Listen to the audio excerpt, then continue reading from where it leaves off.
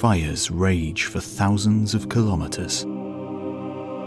They spread across the landscape, consuming grasslands and fern forests alike.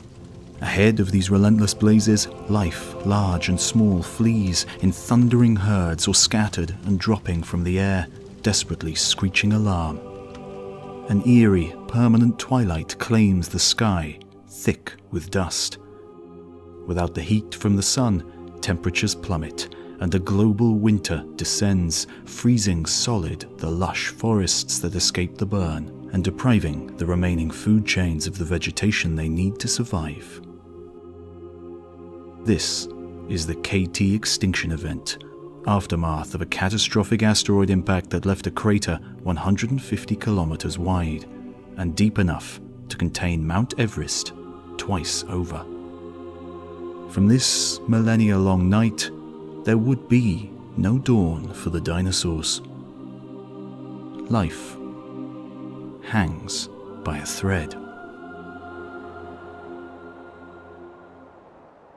When the dust finally clears and the sun shines once again, it does so on a largely empty world. With the big dinosaurs gone, only the hardy scavengers and survivalists are left. Some dinosaurs did make it through, those for example that could eat tough, long-lasting nuts and seeds, or which had a soft, fluffy down to protect them from the cold. Scavenging mammals, too, clung on, who were used to scraping through on short measures. It's a scorched, battered, frozen, post-apocalyptic landscape. But for them, it's a world of opportunity. Suddenly, in little more than the blink of an eye, the predators are gone.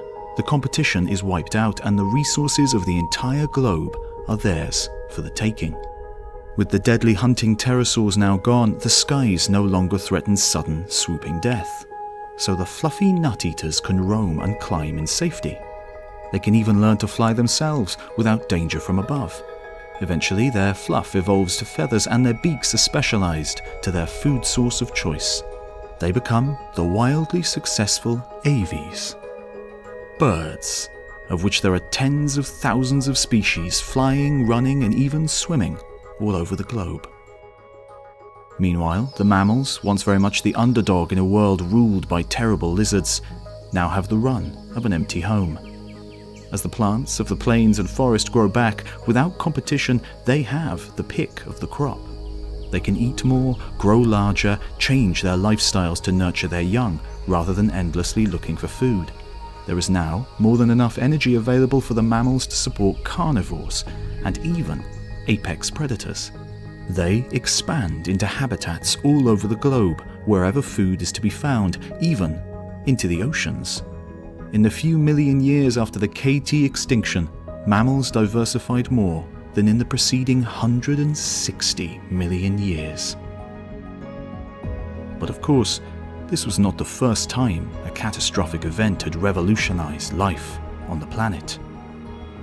Some 2 billion years earlier, the Great Oxidation Event, the largest extinction of all time, brought life to the brink. And when it bounced back, it too was fundamentally transformed.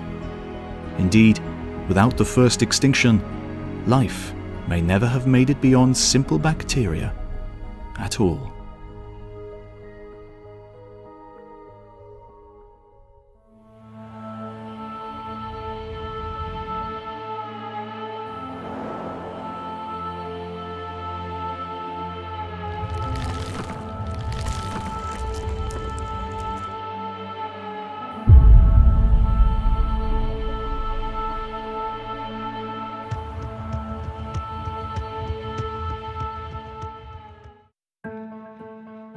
Before the KT extinction that wiped out the dinosaurs, before even the end Permian extinction, known as the Great Dying, there was another mass extinction that almost wiped out all life on Earth. Around 2.5 billion years ago, at the fringes of thriving microbial communities, some groups had evolved to use photosynthesis instead of chemistry to acquire their energy. These new photosynthesizers could colonize everything the light touched. But the gift of photosynthesis came with an unwanted byproduct oxygen, which in the Archean Ocean was as lethal as mustard gas.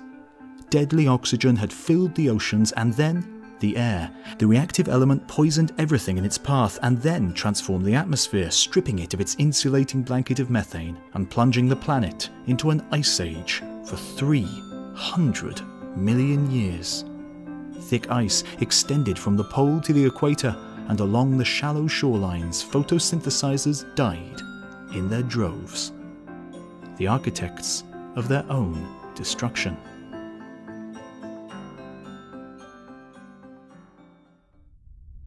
But we know that this wasn't the end of life on Earth. Our very existence on the surface of the planet today is testament to life's tenacity through the most catastrophic of events. Indeed, the vast majority of our ecosystems today rely on the very photosynthesis that brought about such destruction. Life clung on by the thinnest of threads. Just 1% of all life in Archean oceans persisted into the next age, the Proterozoic and it's from this 1% that the living world was rebuilt. After the dinosaur decimating KT extinction, the dust cleared on an empty world. And so too after the great oxygen extinction. The 1% of life that survived did so in isolated refugia, perhaps where volcanoes punched through the ice, like in Iceland today. The warmth of magma so near the surface maintained shallow water oases in the midst of a vast ice desert. Small communities of photosynthesizing bacteria could cling on here in their own lonely worlds.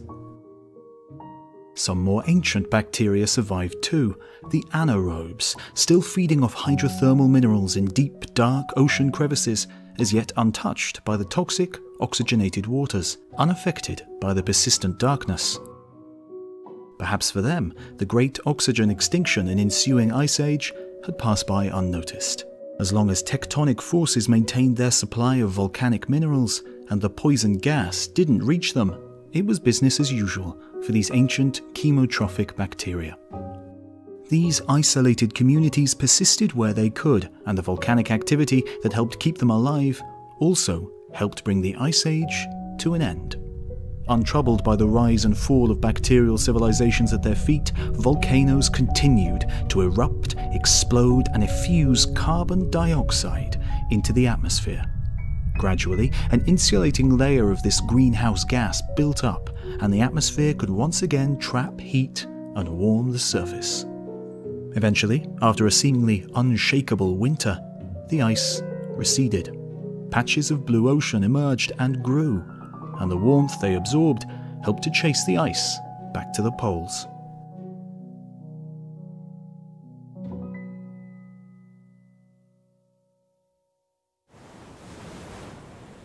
The surviving life forms witnessed as the planet uncleared itself, casting off the chains that had gripped it for so long.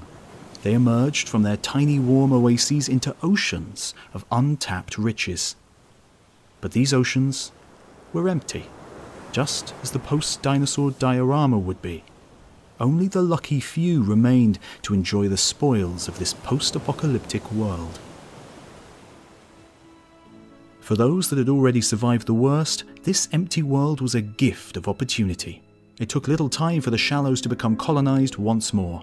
As the ice melted, sea levels rose, drowning the shorelines of every tiny island and making brand new habitats for opportunistic sun loving microbes. Photosynthesis was still an ideal source of energy since it required only the inexhaustible glow of the sun and ubiquitous carbon dioxide. And, as is the natural way of things, microbial predators evolved too, to take advantage of the energy captured by the producing photosynthesizers. Instead of capturing the sun's energy themselves, they consumed the green producers and extracted the energy contained within their organic structures. But with such riches in store and an entire planet as their playground, the survivors had the chance to innovate further.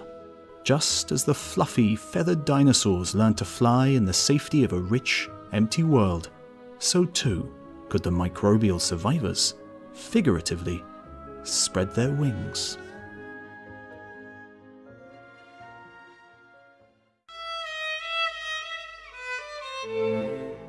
In the late 19th century, Imperial Germany is a hotbed of science and innovation.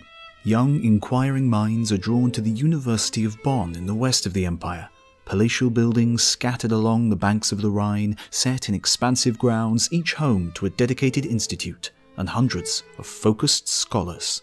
In a small, overfilled office in a corner of one such institute, a finely dressed young man adjusts the gas lamp on his desk, pulling it closer to the microscope before him. The man's name is Andreas Schimper, and he is a phytogeographer tasked with understanding the distribution of plants all over the globe. Although, on this evening in 1883, his mind is troubled by revelations more microscopic in nature.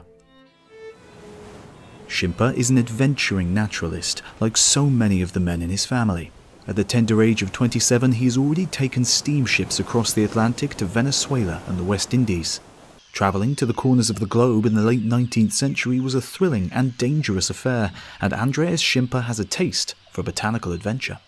His exploration and research will give rise to the term tropical rainforest, and many species of plant will come to be named in his honour. But Andreas believes that to truly understand the nature of an exotic plant, one must study it at the smallest possible scale. And so he spends hour upon hour poring over paper thin slices of his specimens, staring at their box like cells and the green, speckled chloroplasts inside them. He sees this same fundamental organization in every green leaf he places beneath the objective, whether lovingly returned from the Venezuelan jungle or plucked from the lawns of his own institute. Chloroplasts and their surrounding cells each distinct, but their fates inextricably intertwined. How did this come to be? Schimper has a theory, but it's almost too outrageous to consider. He pauses with his pen hovering above the paper and slowly begins to write.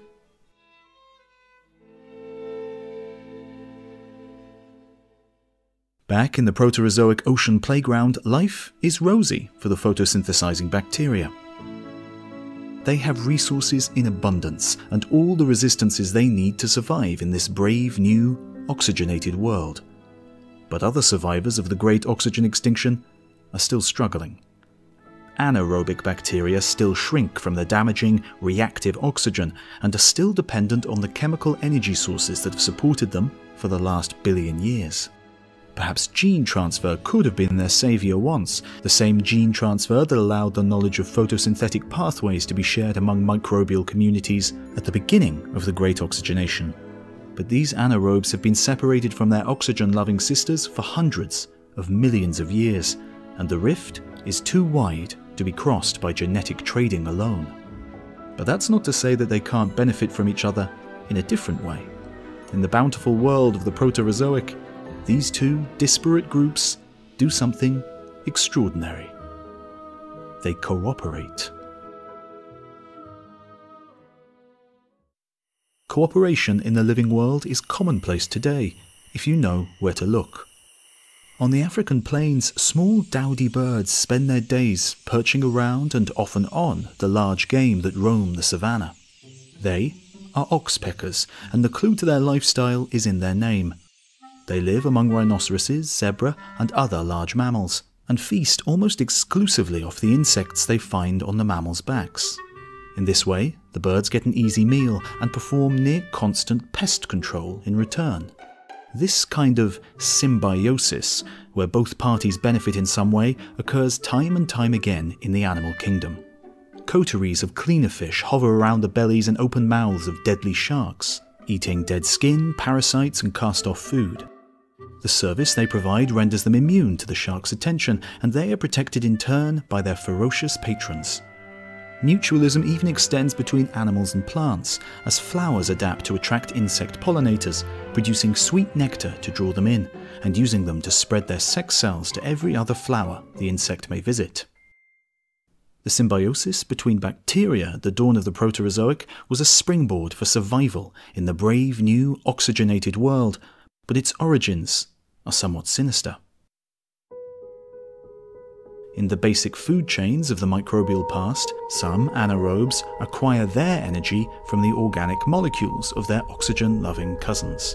They engulf them whole, swallowing them as a snake might consume an entire deer, to digest it slowly over many days.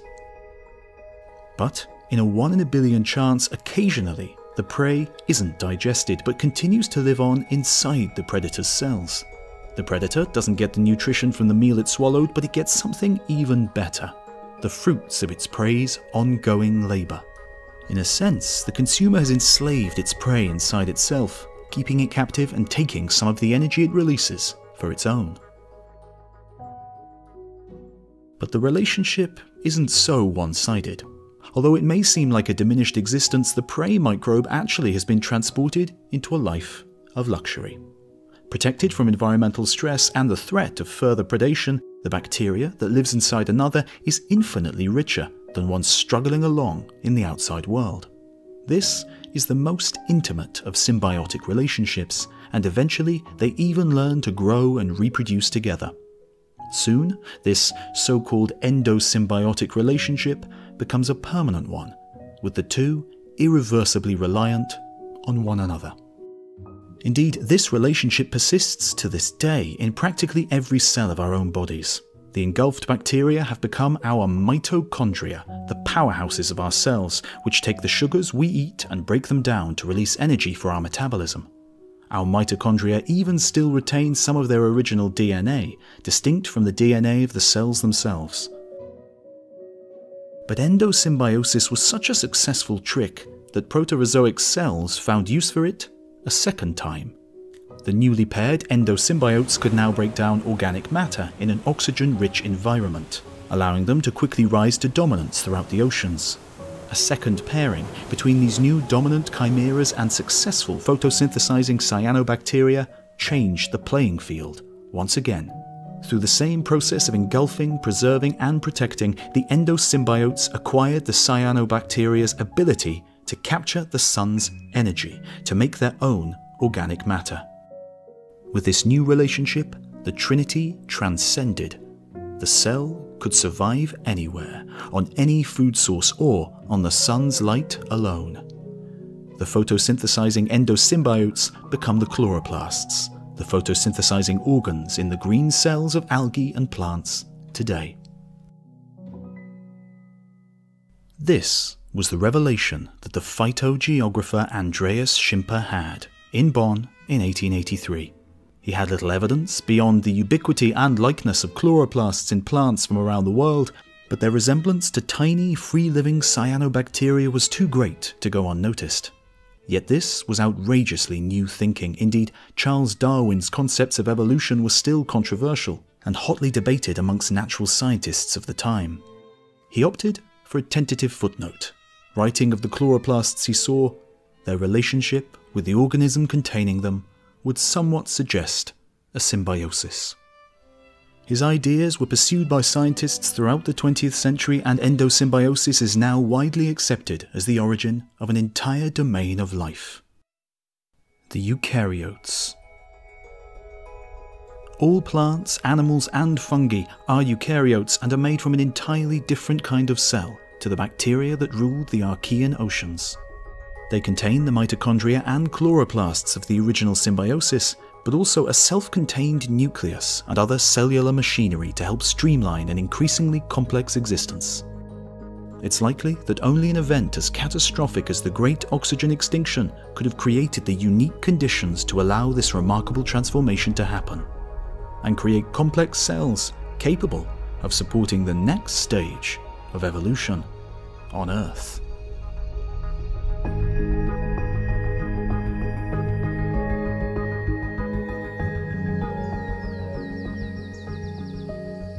Some 100 years before Andreas Schimper sat musing over the chloroplasts in exotic plants, another naturalist was putting pen to paper to express his own novel thoughts on botanical matters.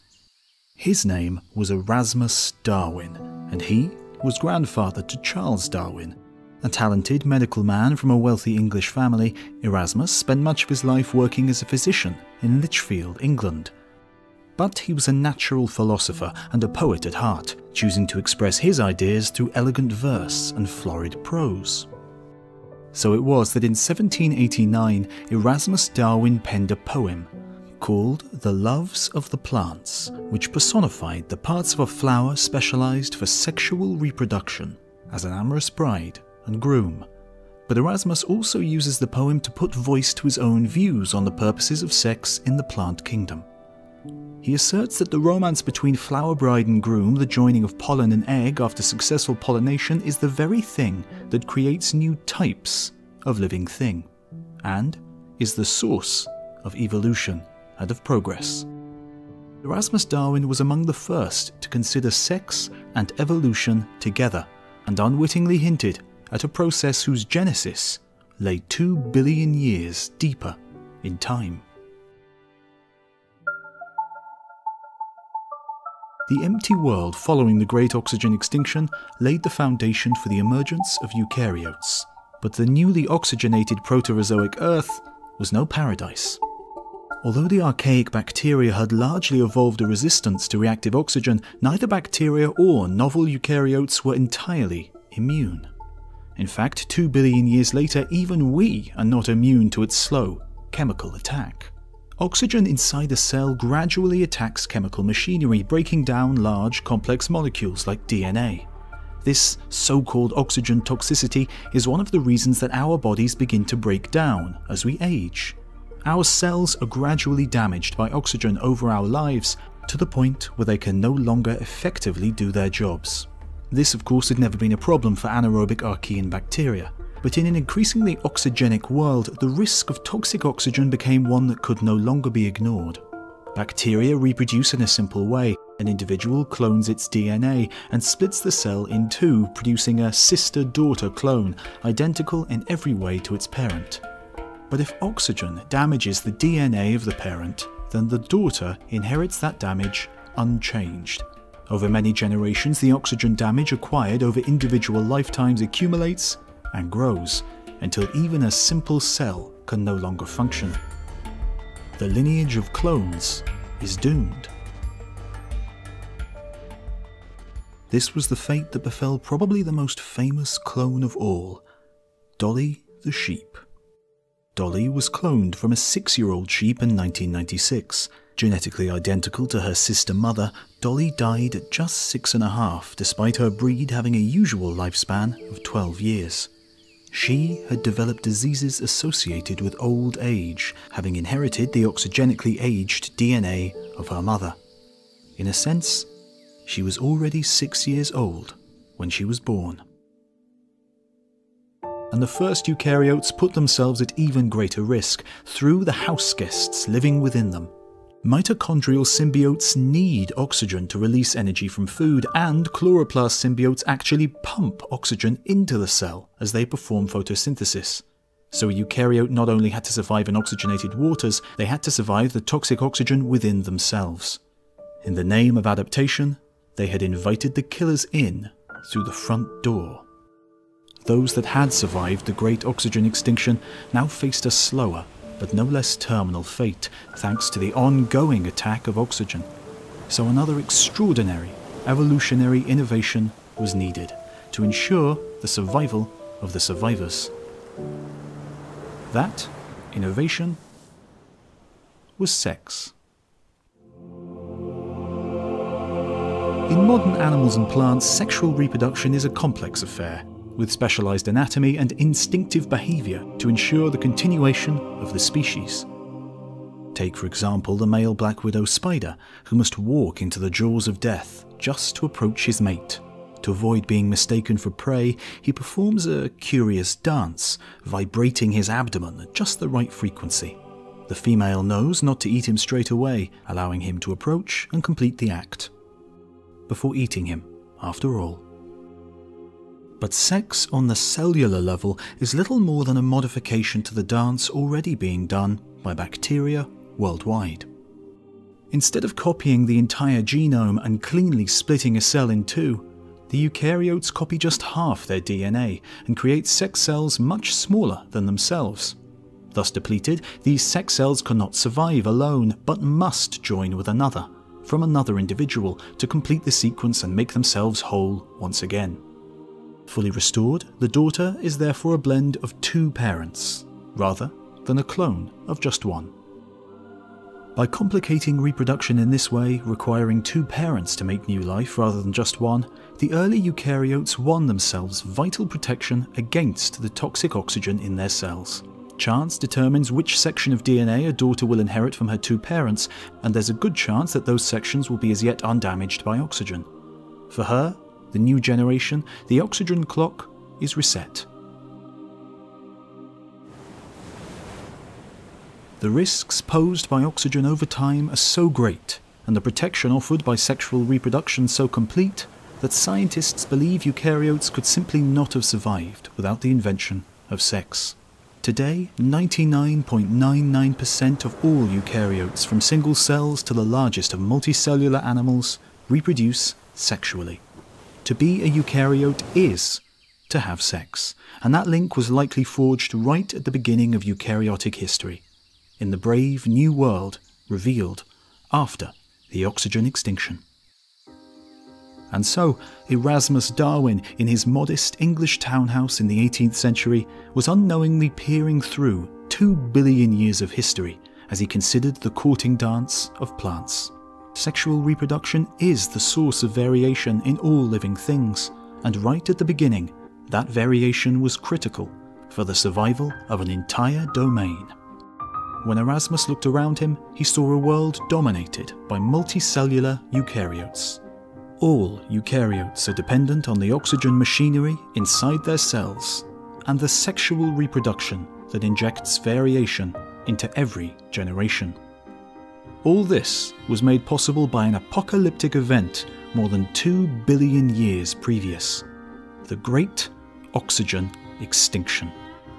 Just as we can thank the KT extinction for our mammal line's dominance over the dinosaurs, so we can thank the oxygen extinction for the diversity and dominance of eukaryotes across the globe. It took extraordinary strife to produce the extraordinary diversity we enjoy in the world today. Even the darkest nights end, letting the sun rise on a world of new opportunity.